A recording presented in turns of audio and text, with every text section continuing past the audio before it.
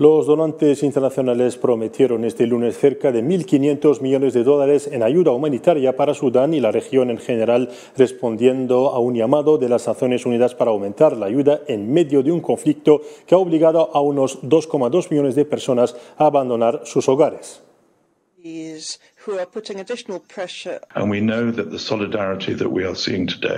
Sabemos que la solidaridad que estamos viendo hoy es de tanta importancia y es una declaración de humanidad tanto como de generosidad. Me complace decir que hoy los donantes han anunciado cerca de 1,5 mil millones de dólares para la respuesta humanitaria a Sudán y la región. Esta crisis requerirá un apoyo financiero sostenido y espero que todos podamos mantener a Sudán en la cima de nuestras prioridades.